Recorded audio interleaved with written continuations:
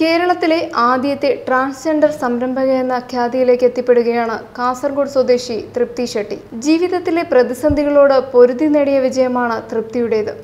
സ്വാഭിമാനത്തോടെ ജനിച്ച മണ്ണിൽ ജീവിക്കണമെന്ന തൃപ്തിയുടെ ആഗ്രഹത്തിനൊപ്പം ചില കൈത്താങ്ങുകളും നിർണായകമായിരുന്നു. ഹാൻഡിക്രാഫ്റ്റ് ഡെവലപ്മെന്റ് കോർപ്പറേഷൻ ഓഫ് കേരളയുടെ കീഴിലുള്ള കൈരളിയിൽ കലാകാരിയായി അംഗത്വം നേടുന്ന ആദ്യ ട്രാൻസ്ജെൻഡറായും തൃപ്തി അറിയപ്പെടുന്നു. ഒരു തൊഴിൽദാതാവ് എന്ന തലത്തിലേക്ക് തൃപ്തിയെ പോലുള്ളവർ സ്വപ്നം കാണുകയും അതിലേക്ക് എത്തിപ്പെടുകയും ചെയ്യുന്നത് മാതൃകാപരമാണ്. തൃപ്തിയുടെ ജീവിതത്തിലേക്കുള്ള മാറ്റം ഇങ്ങനെയായിരുന്നു. അതായത് കിരണിൽ നിന്നും തൃപ്തിയിലേക്കുള്ള മാറ്റം. കാസർഗോഡ് ജില്ലയിലെ മഞ്ചേശ്വരത്താണ് തൃപ്തിയുടെ ജനനം. സ്കൂൾ പഠന കാലയളവിൽ നാടകങ്ങളിൽ സ്ത്രീവേഷം കെട്ടാൻ ആഗ്രഹിച്ചിരുന്ന ആൺ സുഹൃത്തുക്കൾക്കൊപ്പം ക്രിക്കറ്റ് കളിക്കാൻ വിസമ്മതിച്ചിരുന്ന ബാല്യത്തിൽ തന്നെ സ്വത്വത്തെക്കുറിച്ചുള്ള ചോദ്യങ്ങൾ ചോദിച്ചു തുടങ്ങിയിരുന്നു. കളിക്കുന്നതിനിടെ വീണ് ഗുരുതരമായി പരിക്കേറ്റ് മാസങ്ങളോളം വിശ്രമിച്ചതിനാൽ സ്കൂളിൽ തുടർന്നു പഠിക്കാൻ സാധിച്ചില്ല. എട്ടാം ക്ലാസ്സോടെ പഠനം ഉപേക്ഷിക്കേണ്ടി വന്നു. പിന്നീട് നാട്ടിൽ പല ജോലികളും ചെയ്ത ശേഷം മാംഗ്ലൂർ സിറ്റിയിൽ എത്തിച്ചേരുകയും അവിടെ നിന്ന് തന്നെ പോലെയുള്ള ധാരാളം ആളുകളുണ്ടെന്ന് തിരിച്ചറിയുകയും ചെയ്തു. രണ്ടായിരത്തി നാലിൽ കണ്ണൂരിലേക്ക് സ്ഥിരതാമസത്തിനായി എത്തി. ട്രാൻസ്ജെൻഡേഴ്സിന്റെ കേരളത്തിലെ ആദ്യത്തെ സംഘടന തുടങ്ങുന്നത് അവിടെ നിന്നാണ്. കണ്ണൂരിൽ നിന്നും മുംബൈ സിറ്റിയുടെ മായാപ്രപഞ്ചം സ്വപ്നം കണ്ടുകൊണ്ട് ജോലി വാഗ്ദാനം നടത്തിയ ആളിനൊപ്പം ഏറെ പ്രതീക്ഷകളോടെ പോയി. എന്നാൽ പാതി വഴിയിൽ അയാൾ ഉപേക്ഷിച്ചതോടെ വീണ്ടും ജീവിതം അനിശ്ചിതത്വത്തിലായി. എന്നിട്ടും ആറുമാസം അവിടെ ജോലി ചെയ്തു. പേഴ്സ് നഷ്ടപ്പെട്ടതോടെ നാട്ടിലുള്ള അമ്മയുമായി ബന്ധപ്പെട്ടിരുന്ന നമ്പറും നഷ്ടപ്പെട്ടുപോയി പിന്നീട് മറ്റ് സ്ഥലങ്ങളിൽ ജോലി ചെയ്ത് സമ്പാദിച്ച ആയിരത്തി അഞ്ഞൂറ് രൂപയുമായി നാട്ടിലെത്തിയപ്പോൾ കേൾക്കുന്നത് അമ്മയുടെ മരണവാർത്തയായിരുന്നു. തുടർന്ന് നാട്ടിൽ നിൽക്കാൻ സാധിക്കാതെ വരികയും രണ്ടായിരത്തി ആറിൽ ഹിജഡ കൾച്ചറിലേക്ക് പോവുകയും ചെയ്തു. അവിടെ നിന്നുമാണ് കഠിനമായ വേദനകൾ സഹിക്കേണ്ടി വന്നാലും സ്ത്രീയായി മാറണമെന്ന ധീരമായ തീരുമാനത്തിലേക്ക് എത്തിപ്പെട്ടത്. എന്നാൽ സർജറിക്ക് ചിലവാകുന്ന പണം സമ്പാദിക്കാൻ മുന്നിൽ രണ്ട് വഴികളെ ഉണ്ടായിരുന്നുള്ളൂ.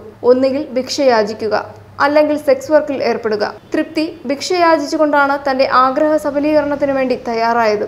എന്നാൽ അവിടെ സർജറി നടത്താൻ സാധിച്ചില്ല. പിന്നീട് മുംബൈയിലും കോഴിക്കോടുമായി വിവിധ ജോലികൾ ചെയ്തു ജീവിച്ചു. എന്നാൽ വീണ്ടും ചെന്നൈയിലേക്ക് മടങ്ങി പോവുകയും സർജറി ചെയ്യുകയും ചെയ്തു. സർജറിക്ക് ചിലവായ തുക മടക്കി നൽകുന്നതിനായി വിശ്രമിക്കേണ്ട സമയങ്ങളിലും കഠിനമായ ജോലികൾ ചെയ്തു. അങ്ങനെ കിരണിൽ നിന്നും തൃപ്തിയായി മാറി. ഇതിനുശേഷമാണ് ഒരു സംരംഭക എന്ന നിലയിലേക്ക് എത്തിപ്പെട്ടത്. സമൂഹത്തിൽ അവഗണിക്കപ്പെടേണ്ട വിഭാഗമല്ല തങ്ങളെന്നും മറിച്ച് കരുതലും പരിഗണനയും നൽകിയാൽ മുഖ്യധാരയിൽ നിരവധി കാര്യങ്ങൾ ചെയ്യാനാകുമെന്നും തെളിയിച്ച വ്യക്തിയാണ് തൃപ്തി ഷെട്ടി.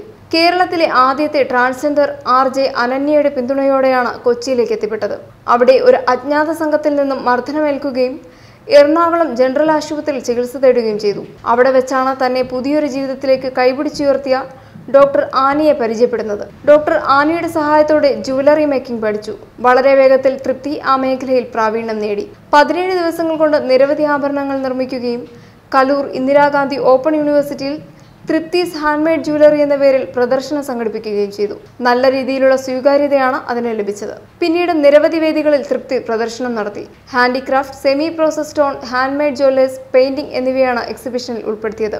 ഇതിനിടയിൽ queen of Daya two thousand സെവന്റീനിൽ പങ്കെടുക്കുകയും പതിനഞ്ച് ഫൈനലിസ്റ്റിൽ ഒരാളായി തിരഞ്ഞെടുക്കുകയും ചെയ്തു. ഹാൻഡിക്രാഫ്റ്റ് ഡെവലപ്മെന്റ് കോർപ്പറേഷൻ ഓഫ് കേരളയുടെ കീഴിലുള്ള കൈരളിയിൽ കലാകാരിയായി അംഗത്വം നേടി. ഫാഷൻ രംഗത്തും കരകൗശലത്തിലും ചിത്രകലയിലും പ്രഭാഷണത്തിലും തൃപ്തി ഷെട്ടിക്ക് പ്രാവീണ്യമുണ്ട്.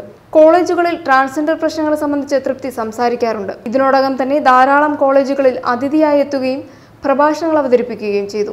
മോഡലിംഗ് രംഗത്തും തൃപ്തി സജീവമാണ്. എക്സിബിഷൻ സ്റ്റാളുകളിൽ നിന്നും സ്വന്തമായ ഒരു സ്ഥാപനം തുടങ്ങുക എന്നത് തൃപ്തിയുടെ ആഗ്രഹമായിരുന്നു. ഇതിനിടെ ട്രാൻസ്ജെൻഡർ സംരംഭകയായ തൃപ്തി ഷെട്ടി മൊബൈൽ ആപ്പ് പുറത്തിറക്കി. സ്വന്തം സൃഷ്ടികളായ ആഭരണങ്ങളും ട്രാൻസ്ജെൻഡർ കമ്മ്യൂണിറ്റിയിലുള്ളവർ നിർമ്മിച്ചെടുക്കുന്ന കരകൗശല വസ്തുക്കളും വിൽക്കുന്നതിനായാണ് ആപ്പ് രംഗത്തിറക്കിയിരിക്കുന്നത്.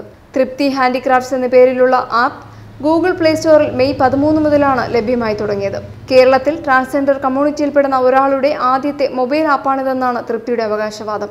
വിവിധയിടങ്ങളിൽ എക്സിബിഷനിലൂടെ തന്റെ ഹാൻഡ്മെയ്ഡ് ആഭരണങ്ങൾ തൃപ്തി വിൽപ്പന നടത്തിയിരുന്നു. എന്നാൽ എക്സിബിഷനിൽ പങ്കെടുക്കാൻ വേണ്ടി വരുന്ന ചെലവിനോടൊപ്പം വരവില്ലാത്തത് വലിയ വെല്ലുവിളിയായി. ഇതിനിടെ തൃപ്തിക്കായി കൊച്ചിയിൽ ഒരു സ്വകാര്യ കോളേജ് വെബ്സൈറ്റ് നിർമ്മിച്ചു നൽകിയിരുന്നു. എന്നാൽ വെബ്സൈറ്റിലൂടെ തൃപ്തിയുടെ ഉൽപ്പന്നങ്ങൾക്ക് പ്രതീക്ഷിച്ച വിൽപ്പന ലഭിച്ചില്ല. ഇതോടെയാണ് സ്വന്തമായി ആപ്പ് രംഗത്തിറക്കാൻ തൃപ്തി തീരുമാനിച്ചത്. ആപ്പിലൂടെ വിൽപ്പന നടത്തുന്ന ഓരോ ഉൽപ്പന്നത്തിൽ നിന്ന് ലഭിക്കുന്ന ലാഭത്തിൽ പത്ത് രൂപ വീതം ശേഖരിച്ച് ട്രാൻസ്ജെൻഡർ കമ്മ്യൂണിറ്റിക്കും മറ്റ് അവശത അനുഭവിക്കുന്ന വിഭാഗങ്ങൾക്കും കാരുണ്യ പ്രവർത്തനങ്ങൾ ചെയ്യാനുള്ള ആലോചനകളും നടക്കുന്നുണ്ടെന്നും തൃപ്തി പറയുന്നു.